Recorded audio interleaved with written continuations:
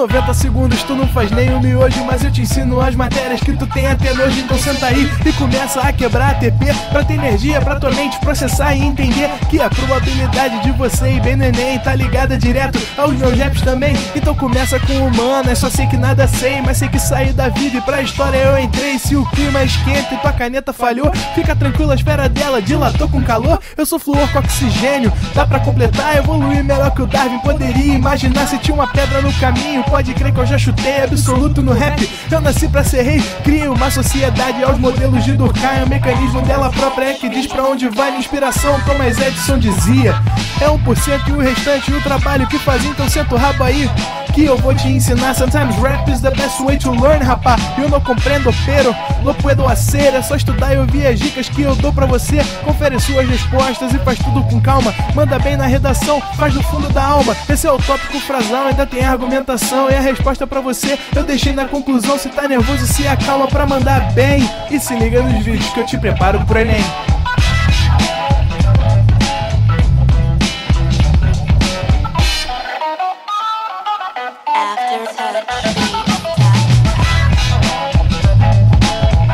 Proenem.com.br Você vem pra mim, diretor. Corta pra mim, diretor. Corta pra mim, porque estamos ao vivo, senhoras e senhores.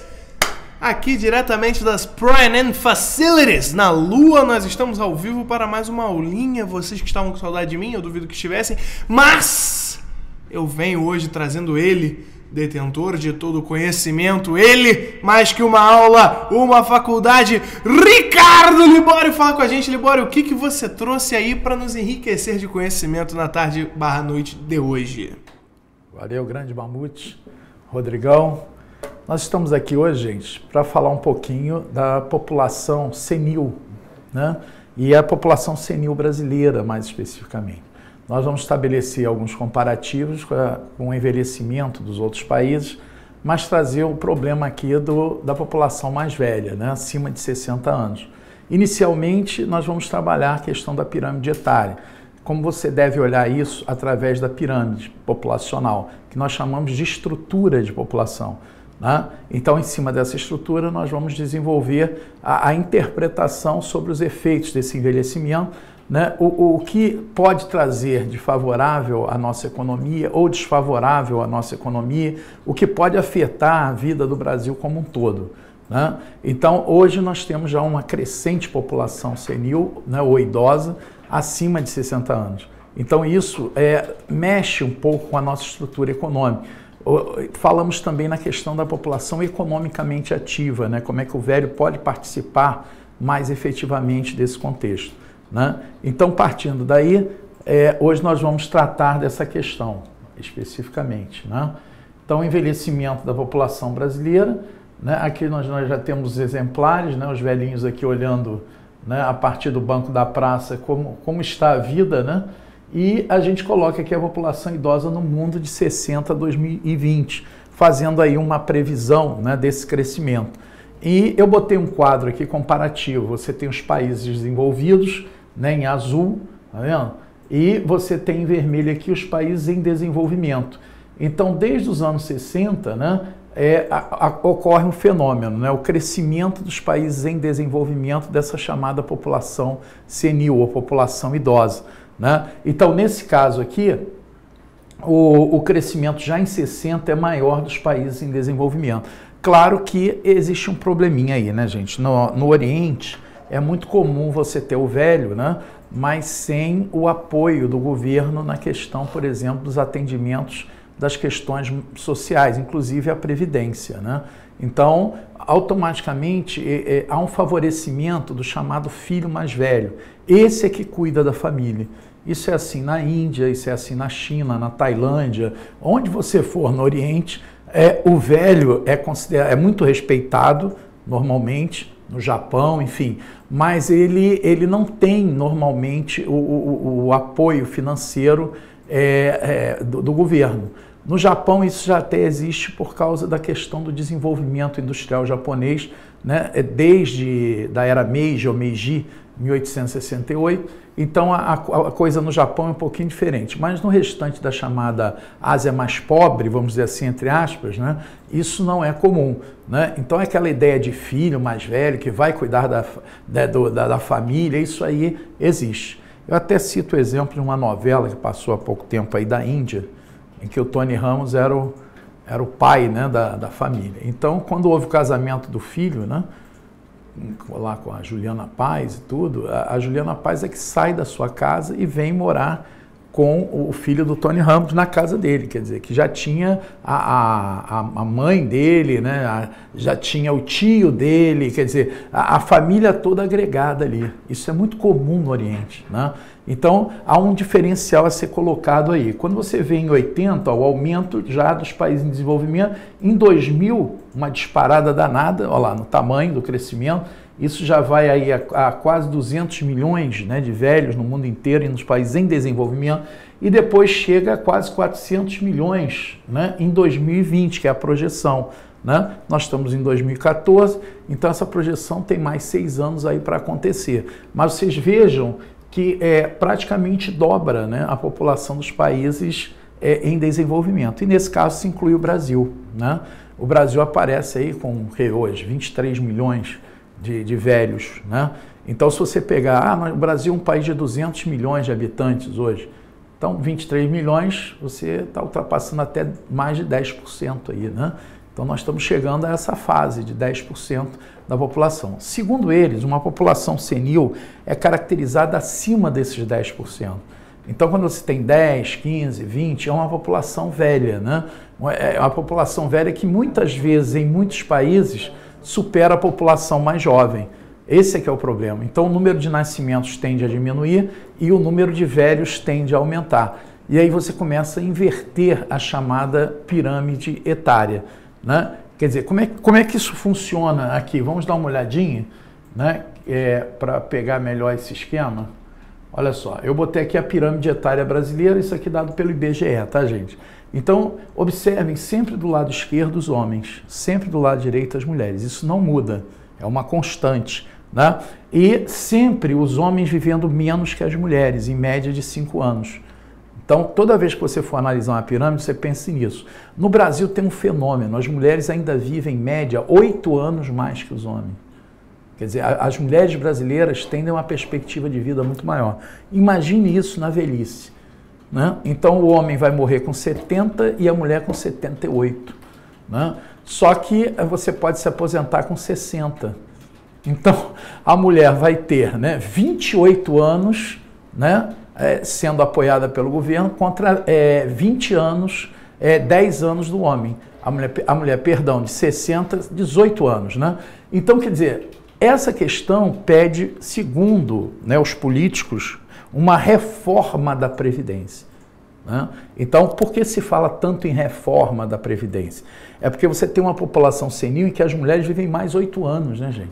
E, e, consequentemente, quer dizer, isso é um peso para a chamada Previdência Social. Então, imediatamente, eles querem mudar isso aí. Né?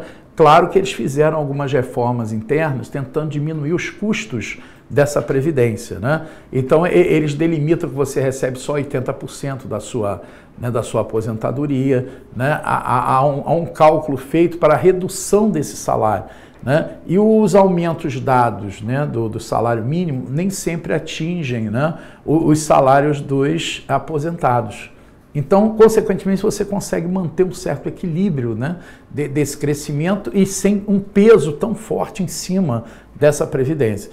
Né? E, e, parece que os governos concordam em manter esse controle. Segundo eles, né, apesar do pessoal pagar né, a, os seus devidos valores à Previdência, existem aqueles que não pagam. Né? são aqueles que não têm carteira assinada, não têm décimo terceiro, não têm fundo de garantia. Eu, eu, eu, autônomos. autônomos. São os autônomos informais, esses, por exemplo, alguns não pagam e, consequentemente, isso é um peso, segundo eles, também em cima dessa previdência. Então, a, a velhice né, seria, na verdade, um peso.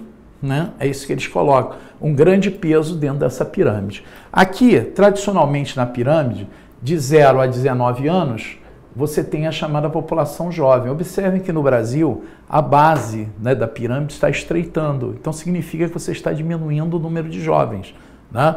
Então, consequentemente, você considera né, adultos e ativos né, aqueles acima de 20 anos. Então, de 20 em diante, você já é considerado adulto. Né? E nesse caso, você vai até 59. Né? A partir de 60, você já é considerado senil. Né? Então, nesse caso, nós teríamos de 20 a 59 anos a galera chamada ativa produtiva, que pode ser formalizada ou não. Né? Então, nos países como o Brasil, que estão em transição demográfica, o que, é que significa isso? A população jovem estreitou e o corpo da pirâmide, o meio da pirâmide, se tornou maior. Você tem mais de 51% da galera nesse, nesse, nessa, nessa faixa da pirâmide. Observem só como a pirâmide se transforma aqui, ó, de 20 a 59. Ela é maior, tá vendo? Olha aqui, ó, tanto para as mulheres quanto para os homens. Né? Então, nesse caso, o aluno já deduziu. Né? Pô, Libório, então o negócio é sério. São eles que, naturalmente, produzindo, geram os recursos, por exemplo, para atender os belíssimos jovens aqui, no sentido de escolas, por exemplo. Né? E atender os velhinhos no sentido, por exemplo, de hospitais adequados à terceira idade, com a geriatria. Né? Então, quer dizer, quem vai fazer esse belíssimo trabalho? A população chamada ativa somos nós que estamos trabalhando, né? Então nós pagamos os nossos, né, a nossa previdência e aí nós ajudamos, né, a, a pagar essas pensões, a pagar, né, a aposentadoria, a, a pagar o INS, o NPS, INSS, né? Quer dizer, ou seja, também os hospitais que tratam dos velhinhos, que os velhinhos, né, precisam desse tratamento. Mestre, sempre que a gente está falando de pirâmide etária, me ocorre uma pergunta e ela é realmente recorrente na minha cabeça. É, nós tínhamos taxas de natalidade muito maiores do que as de hoje em dia, há, por exemplo, 20 anos atrás. É, isso significa que há 20 anos atrás nascia mais gente do que nasce hoje. Consequentemente, é, é, existem mais pessoas de 20 anos hoje do que vão existir daqui a 20 anos. Isso não pode gerar uma defasagem no, no, no futuro? Por exemplo, vão ter mais velhos do que jovens? Isso não pode atrapalhar a economia? É. Isso é uma, dúvida muito recorrente que eu tenho, é. eu não sei se eu consegui formular bem, mas eu acho que o senhor conseguiu entender. Claro que sim, claro que sim. É, nessa, nessa questão de percepção, se você tentar comparar com os países ricos, o que você está falando é o que já acontece nos países ricos, né? Quer dizer, ele já tem um número menor de jovens, bem menor, é, às vezes 10% da população somente, 15%.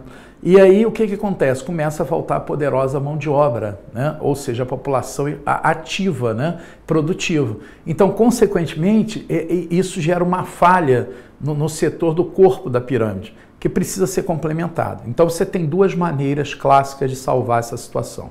Número um, aumentando a sua produção tecnológica. Então, o número de maquinários que substituiria essa população.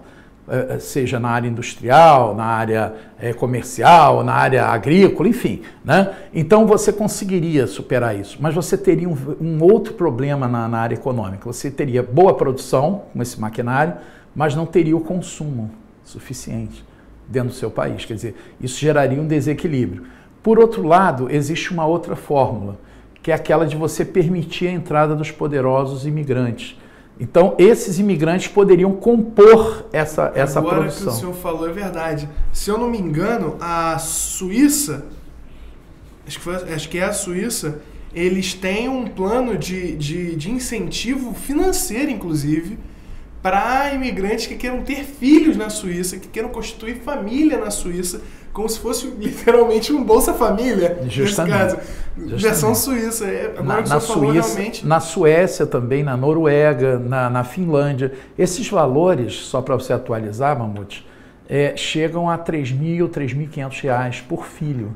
Né? Então, claro que se você bota lá o nome do seu filho, João Stevenson, né? É, consequentemente, é, é, eles vão se emocionar e o seu filho receberá até os 25 anos. A pensãozinha. Né? É, aquele, aquele salário maravilhoso de 3.500 reais. Rapaz, eu acho que eu já sei para onde eu vou me mudar, hein?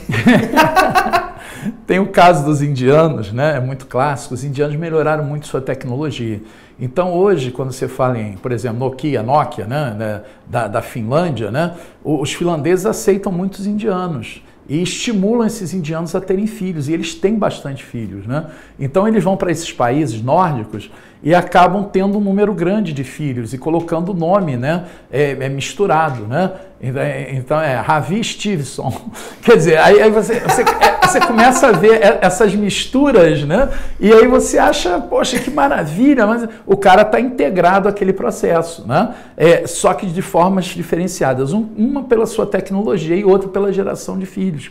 Né? E claro que ele ganha aquele green card poderoso, né? ou seja, aquele cartãozinho que dá definitivamente a condição de ele fixar a residência naquele país, o que deixa o indiano também muito feliz. Né? O, sonho de toda, o sonho de todo mexicano é ver os Estados Unidos nessa condição, né, cara? Com certeza, né? Com certeza.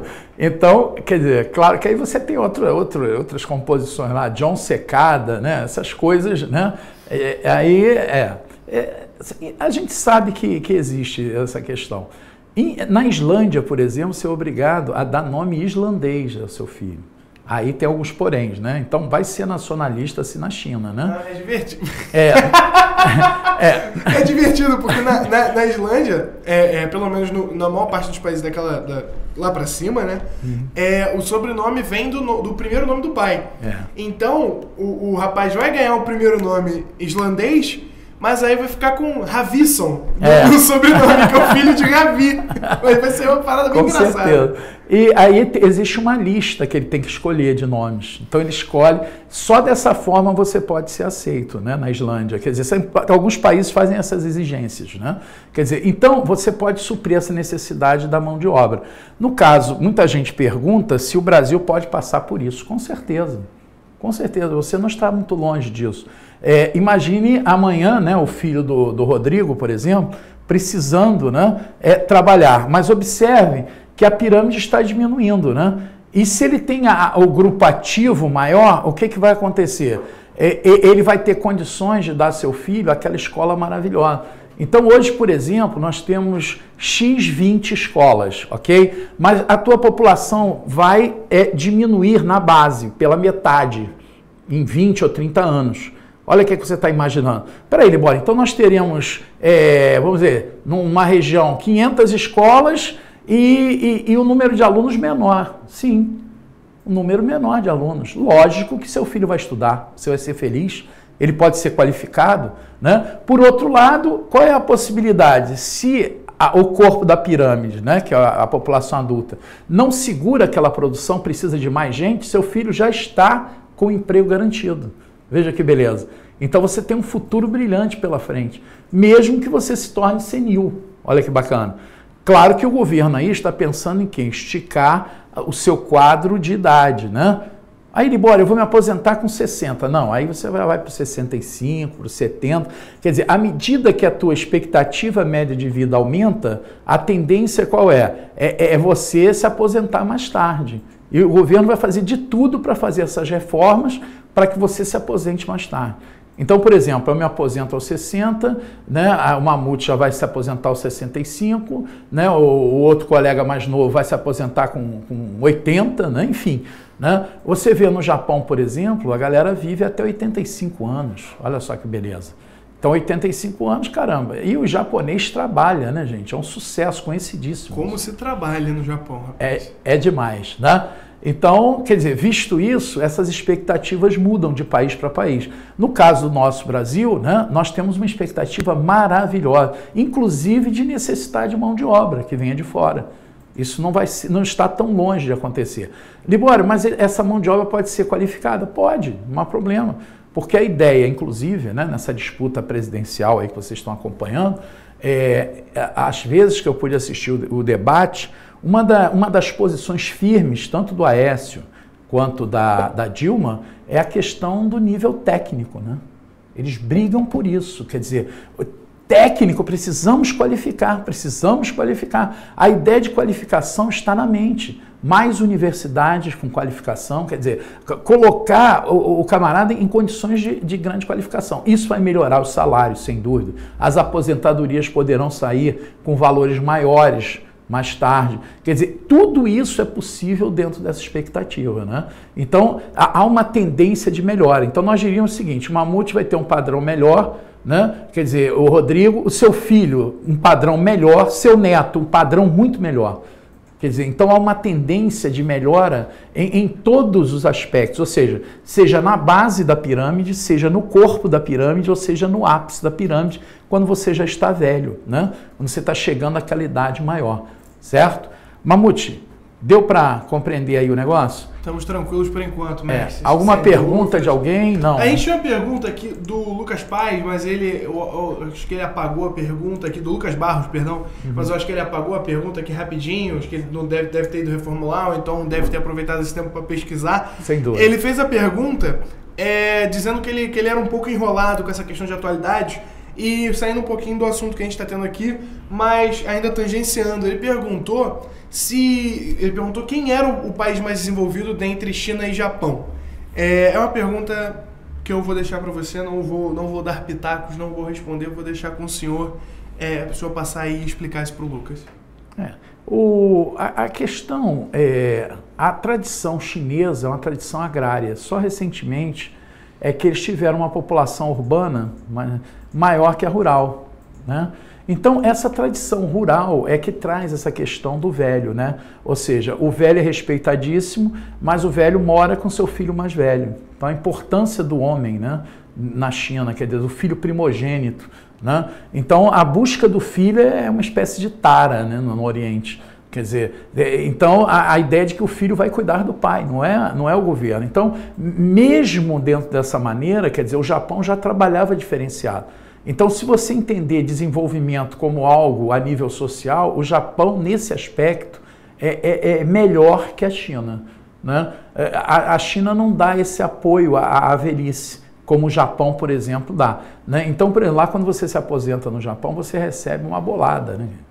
Quer dizer, de tudo que você trabalhou ali, né, o INPS deles é um conjunto, né, em que você acumula, o governo administra e depois, quando passa para você, você fica feliz para sempre, forever. Né? Quer dizer, você é um velho tranquilo. Isso acontece nos Estados Unidos, acontece na Europa. Os países chamados, entre aspas, desenvolvidos, né? porque a China é considerada um país emergente, né? porque ela ainda tem um quadro né, de controle político né, socialista. Né? Então ela não é considerado um, um país desenvolvido pleno, né?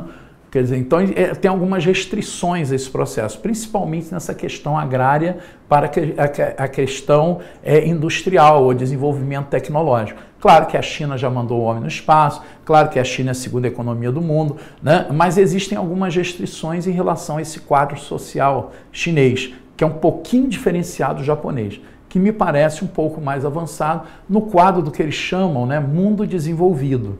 Tá? Então, quando for nesse aspecto especialmente, você faz um tratamento especial para o Japão, que o Japão vai melhor, obrigado. Né? Ou seja, o velho japonês tem menos problemas que o velho chinês. Né?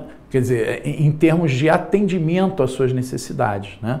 Claro que realmente representa, é, claro que o Japão, apesar de respeitar o velho, né, representa um peso. Já houve até um, uma proposta né, que foi vetada de levar os velhos japoneses para a Austrália, em função do espaço que eles tinham lá. Né?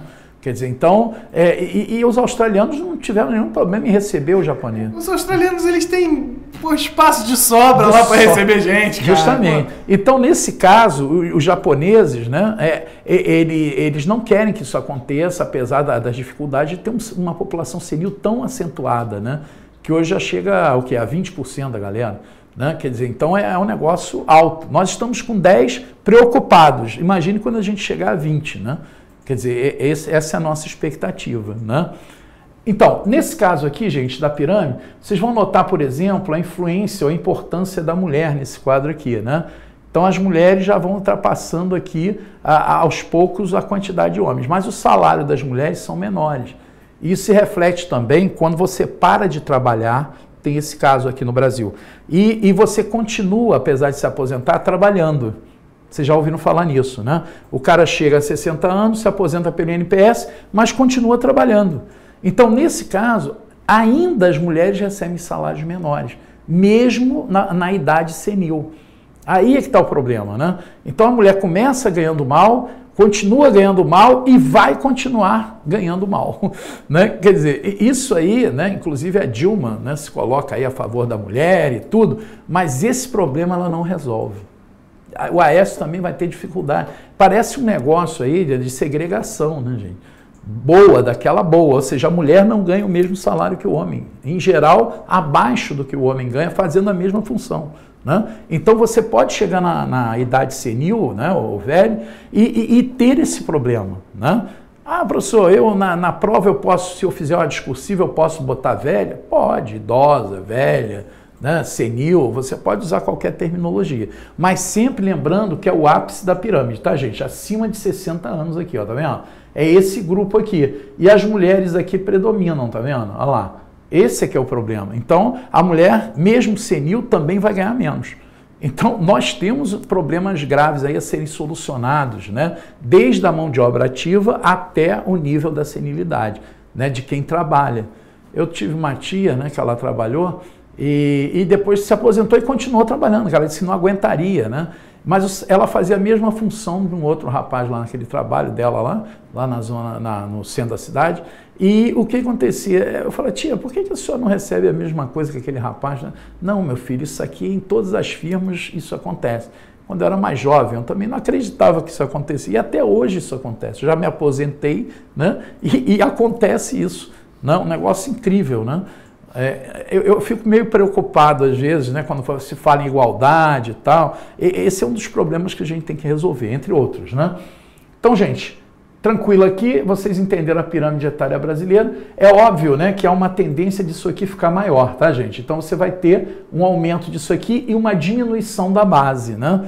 E nós vamos precisar do imigrante. Aguardem mais 15 ou 20 anos, nós estaremos pedindo, pelo amor de Deus, para vigente de outros países quem sabe os belíssimos mexicanos querendo. Eu acho que pelo, pelo, pelo índices de, pelos índices de crescimento populacional, entendeu? A gente não vai pegar da Bolívia porque está muito perto, está muito fácil. A gente já está pegando assim meio por debaixo dos panos.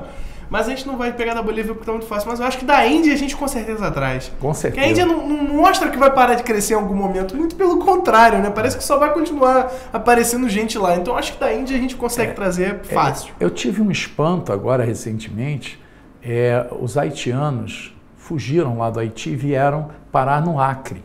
E o que, que aconteceu? O nosso Brasil é tão grande, gente, tão grande, 200 milhões de habitantes, e nós tivemos dificuldade em receber os haitianos. E a, Dilma pedindo, pelo amor de Deus, que a América do Sul abraçasse esses haitianos. Eu falei, meu Deus, o que, que seria, né? O que, que seria possível, né? É, de você, por exemplo, pegar 10 mil haitianos. Aí o que, que acontece? Não, quero pegar 500 haitianos. Aí ela, ela, ela fez a resolução em que 500 haitianos poderão trabalhar no Brasil. 500? 500. 500. Um outro caso, tá você, um outro caso para você lembrar, Fernando Henrique Cardoso, né? É, os palestinos estavam em briga lá em Israel e pediram asilo aqui no Brasil, se o Brasil poderia aceitá-los. Ele falou no máximo 50 famílias. Eu fiquei chocado. Eu falei, gente, pelo amor de Deus. Existe, né? existe na internet rolando é. um, um, um, mapa que é o mapa dos Estados Unidos, né? E em contraste com o mapa de Israel. Que é. Os israelenses estão brigando tanto por um pedaço de terra. Olha só, se a gente cortar esse pedaço do Oregon aqui que não tem ninguém morando, cabe o mapa de Israel inteiro ali. É verdade. É a mesma coisa do Brasil. Que sem, o Brasil dúvida, sem dúvida. O Brasil, continentalmente, de forma extensiva, é maior do que os Estados Unidos, né? Os sem Estados Unidos são maior por causa do Alasca. Ah, pelo amor de Deus, né, então, cara? quer dizer, você oferecer ajuda né, a esse, povo, 50 famílias é, é tamanho do Brasil, pelo amor de Deus, né, gente? Então, a gente fica espantado com essas coisas. Bem, gente, nós vamos fazer um intervalinho, não é isso, Mamute?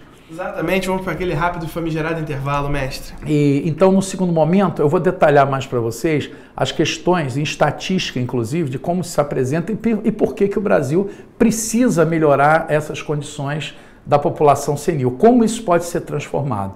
Tá ok? Segundo momento, a gente vai pegar em firme. Então, não sai daí, daqui a um ou dois minutinhos estaremos de volta com mais Mestre Libório dando aula pra galera, hein? Não sai daí. Fala! Galera, tudo bem? Novembro tá chegando e a ansiedade está batendo na sua porta, não é mesmo? Mas calma, calma. Nós aqui do ProEnem criamos uma série de vídeos que vão deixar você mais do que preparado pro Enem. Nossa equipe fez uma pesquisa sinistra e nós levantamos os principais temas cobrados nos últimos anos do Enem. Separamos uma lista de exercícios para você ir além. São quase 300 questões e todas separadas por temas. Tudo é claro para facilitar o seu aprendizado. Tá esperando o quê? Intensivão pro Enem é aqui, no, no ProEnem. ProEnem, a preparação que vai além.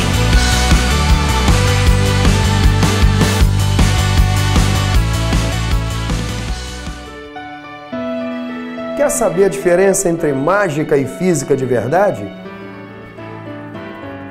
Vem pro ProEnem.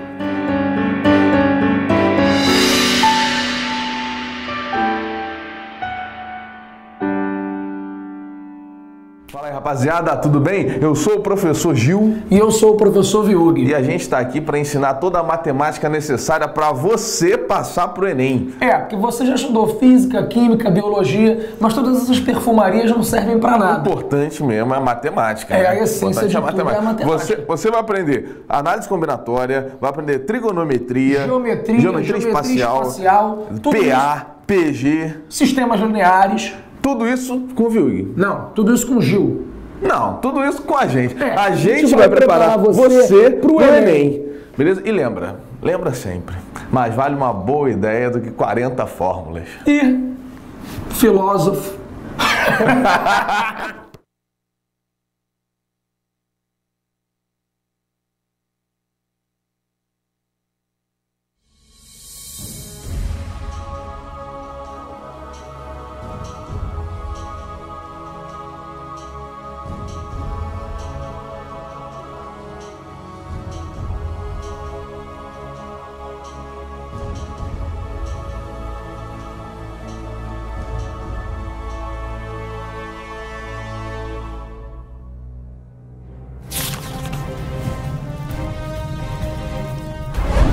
Oi, gente, bem-vindo ao ProEnem.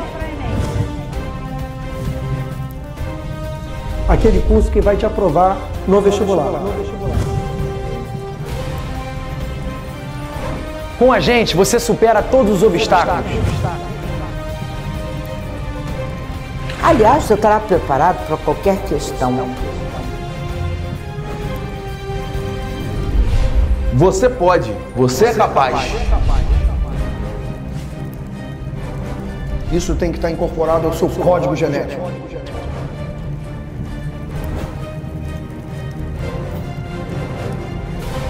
Dificuldades você vai encontrar no caminho. Mas você está pronto.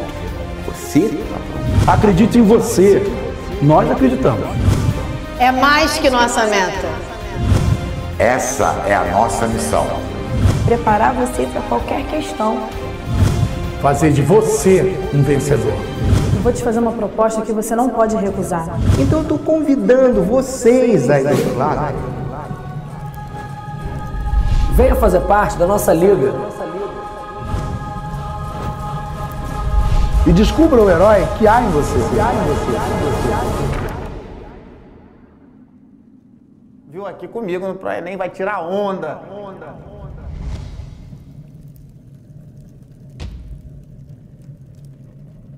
O fantástico Pro Enem. Diretor, corta pra mim, diretor, corta pra mim que hoje nós estamos embrasados nessa aula totalmente excelente com o mestre Ricardo Libório. Libório, vamos dar continuidade, por favor. Perfeito, Mamute. Aqui nós vamos trabalhar as características da população senil brasileira. É essa aqui, ó.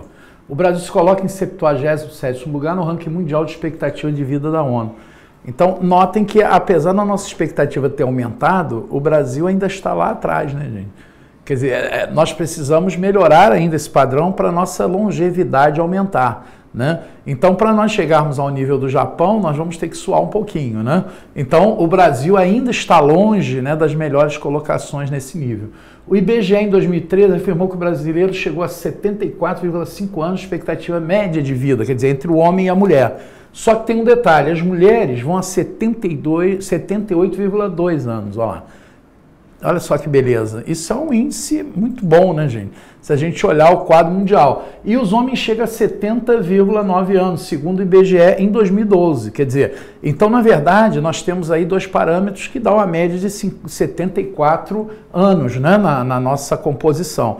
Então, se você vive até 74 anos, você está dentro do padrão brasileiro. Né, de expectativa média de vida. Mas se você pensar em aposentadoria, são 14 anos a mais além dos 60. Né? É uma e, grande complicação. É, né? isso representa um peso, segundo o governo, né? e alto. Agora, notem bem, gente, existem gastos que a gente fica né, preocupado aí, muito maiores do que com a, a, parte previdenciária, educação, que é pouca, né? a saúde, que é pouca. Né? Então, se vocês compararem com o nível de país em desenvolvimento, você vai ver que o Brasil, em índice de desenvolvimento, né, IDH, nós conseguimos perder para diversos países, inclusive o Chile, a Argentina, né? quer dizer, é, é, coisas assim do nível, né? Quer dizer, pelo amor de Deus. Em 2011, o número de velhos chegou a 23 milhões e meio lá, de pessoas acima de 60 anos. Em 20 anos dobrou, né? Ou seja, nós tínhamos o quê? 11 milhões, 12 milhões? Quer dizer, nós, nós dobramos esse, esse valor. Eles acham que isso aqui pode também ser dobrado.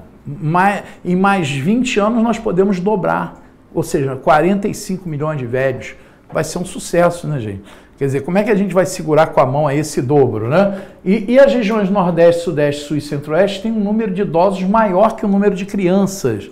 Então significa que só uma região do Brasil, né? Aí no caso a região Norte, Nordeste, a região Norte é a única que tem o maior número de crianças. Detalhe, sendo que a região Norte tem 16 milhões de habitantes.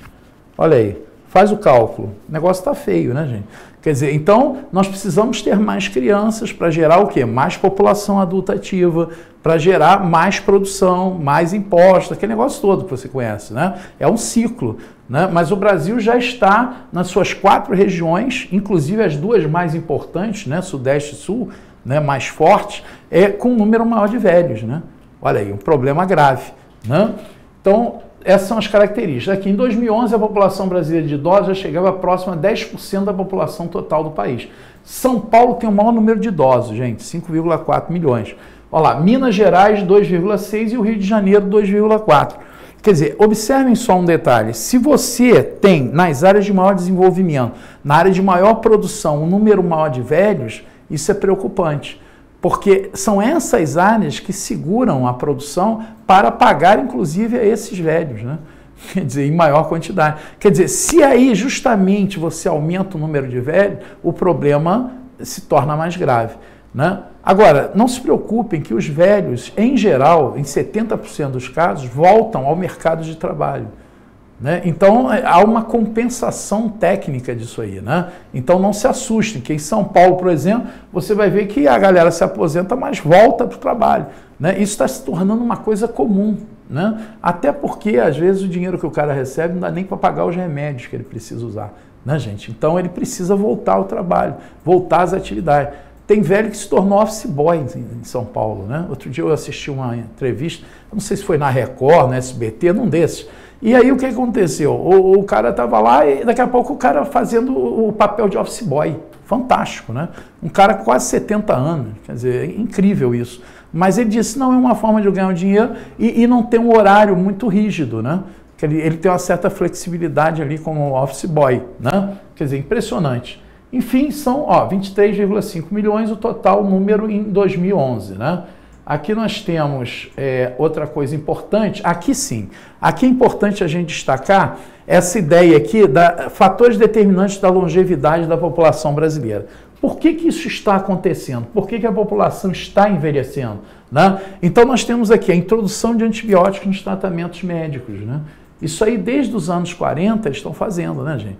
Quer dizer, é essa introdução dos antibióticos. E, claro, as condições médico-sanitárias, de um modo geral, não é só a questão do antibiótico. Né? Você vê uso de cloro na água.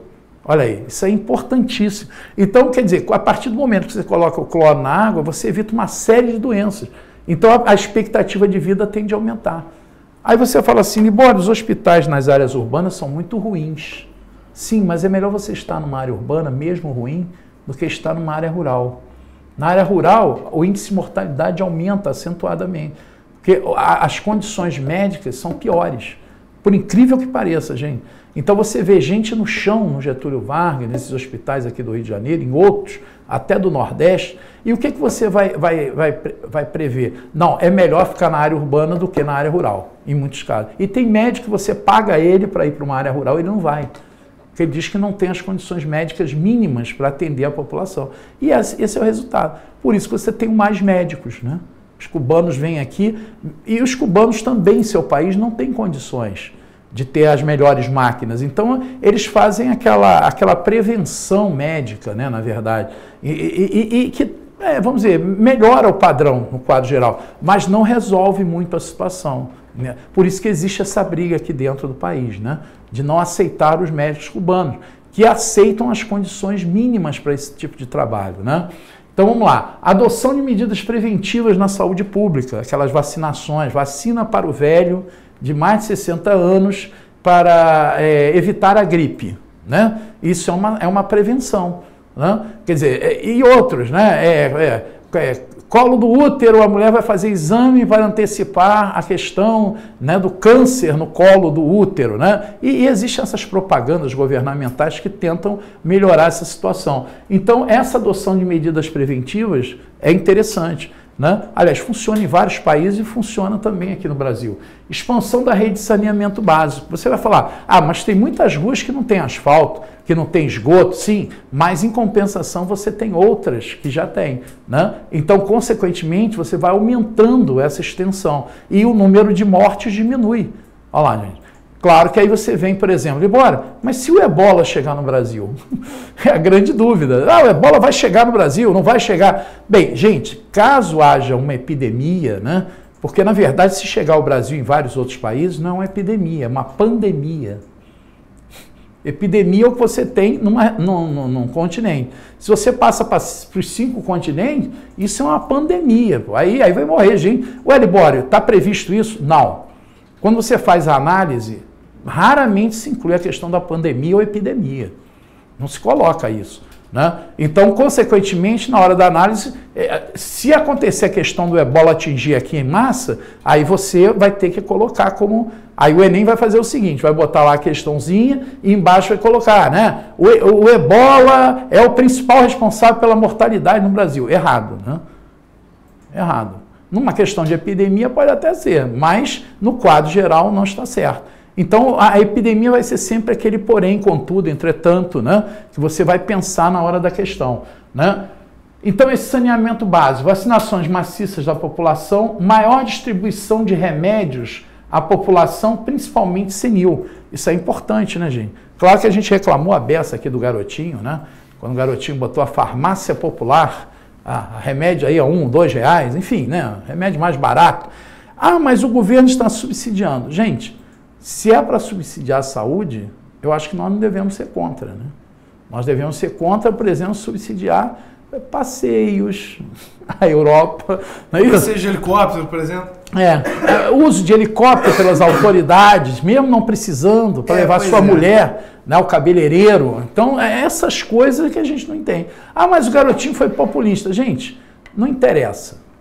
O, o populismo funciona nesse aspecto e país pobre precisa. Ah, mas, gente, Bolsa Família é necessária agora. Daqui a pouco você até substitui isso por, por coisas melhores.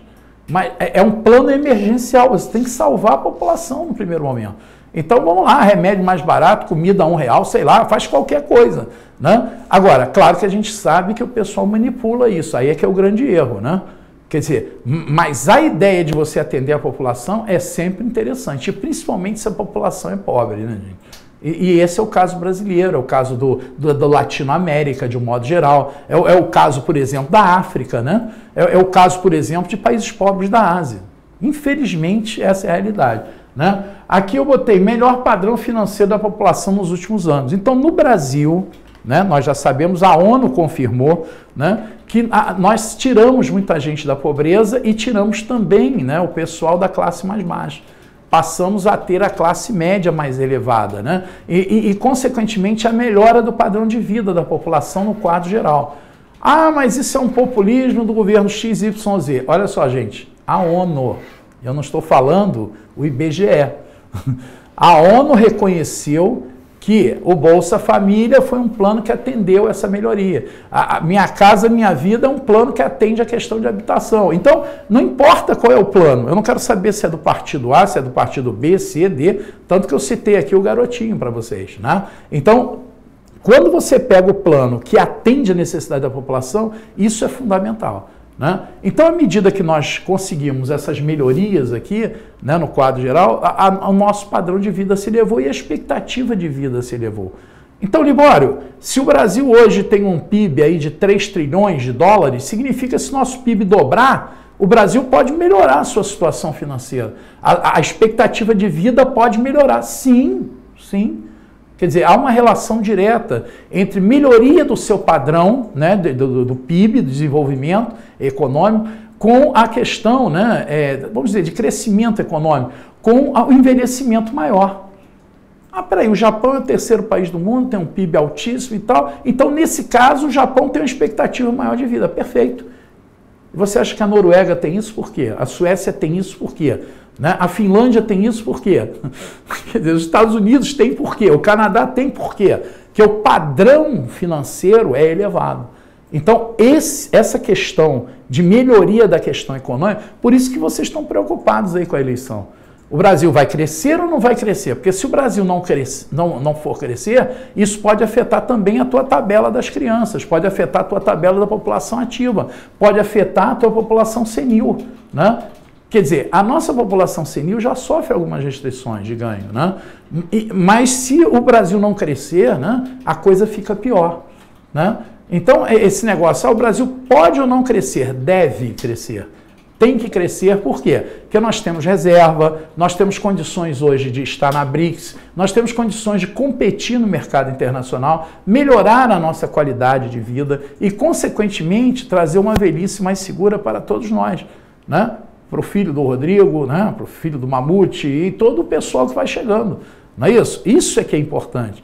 Então, na verdade, não se trata só da população senil. Agora, se, se você pensar que essa população senil, dos 23 milhões, vamos colocar aí uns 15 milhões, participam da produção novamente, quer dizer, você tem como compensar as diferenças. Né?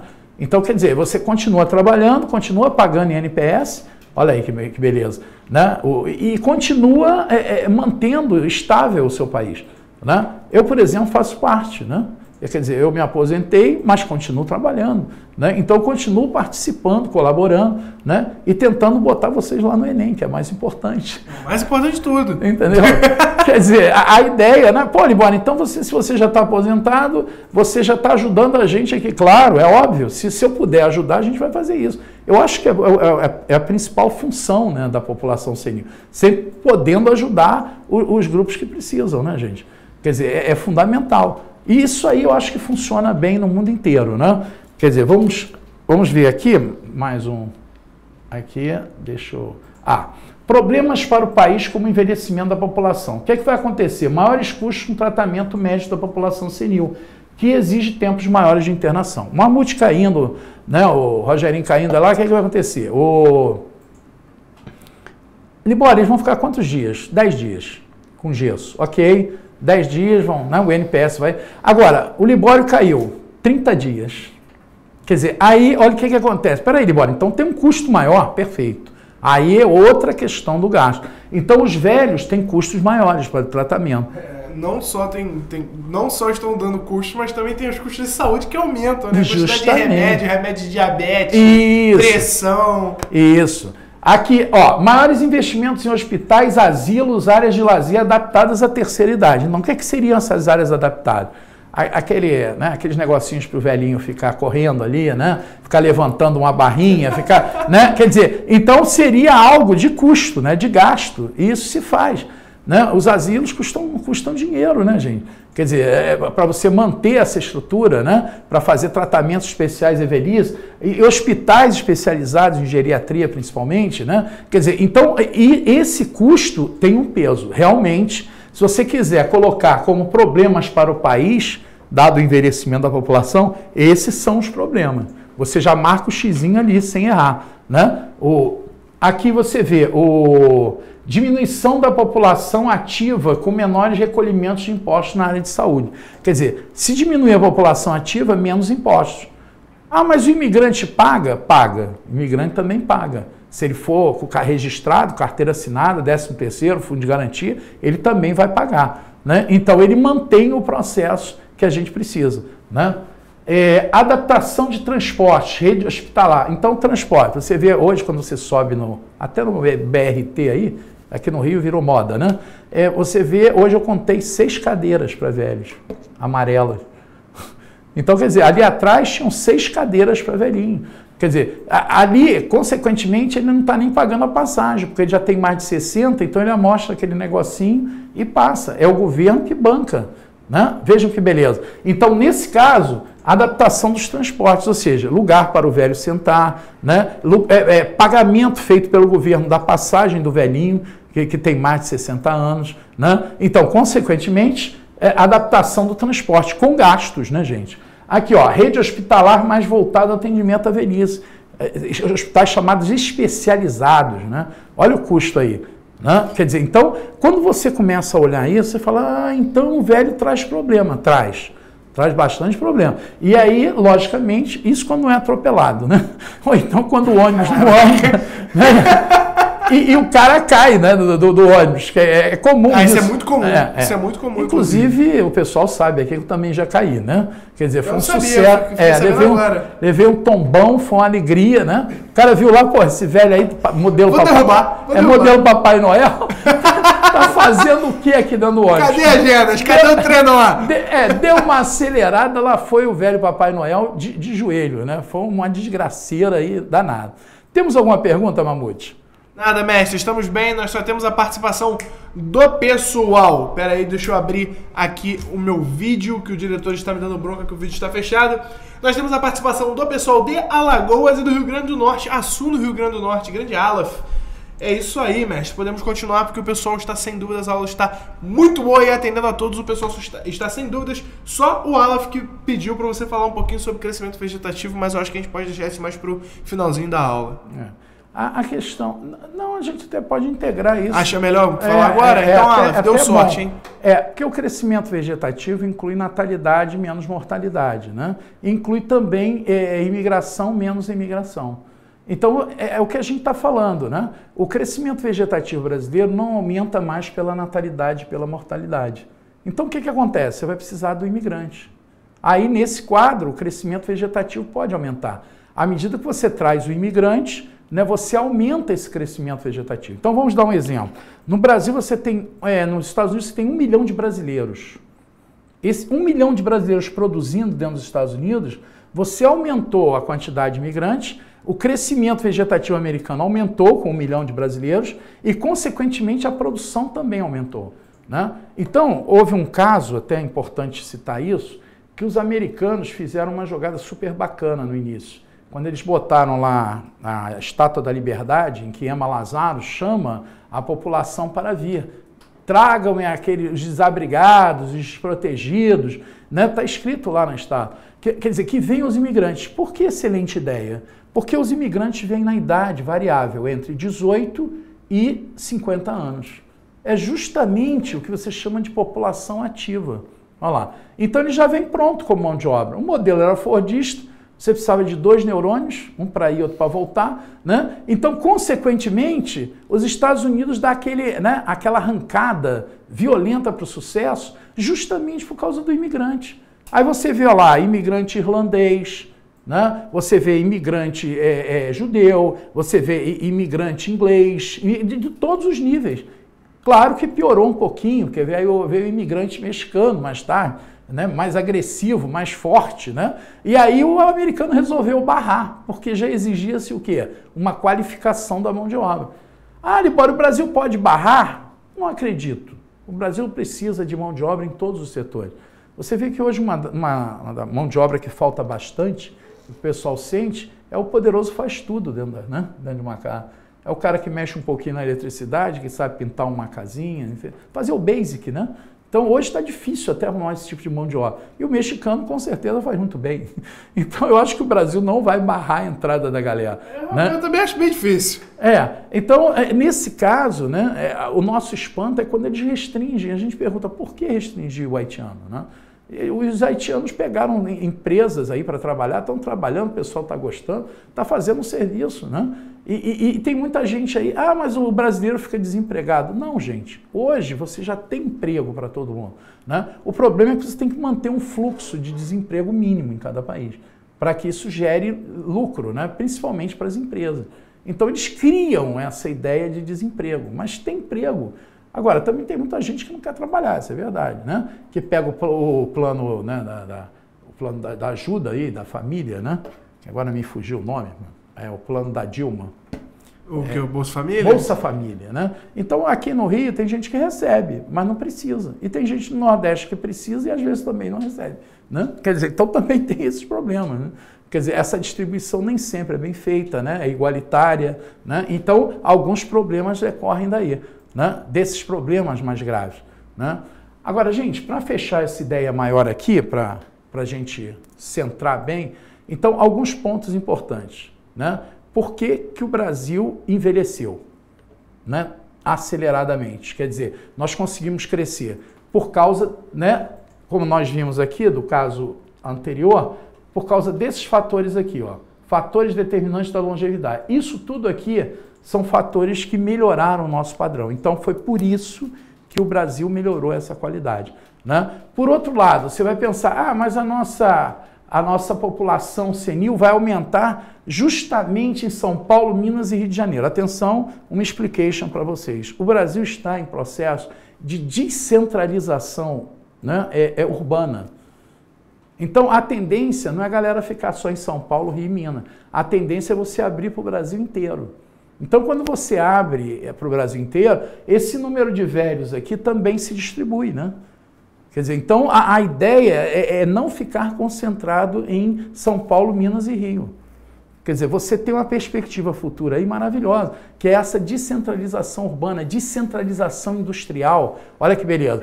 Tia Dilma construindo hidrelétricas na região norte para atrair empresas, então mais empregos para a região norte. Olha que beleza. Então, consequentemente, nessa distribuição, você, você vai tirar essa concentração. Que, que para muita gente, ah, a região sudeste sempre será a região problema em relação ao número de velhos. Não.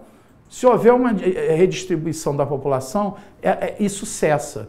Né? Então, há, há, uma, há uma ideia categórica de que toda, tudo que acontece, acontece no Sudeste. Não, gente.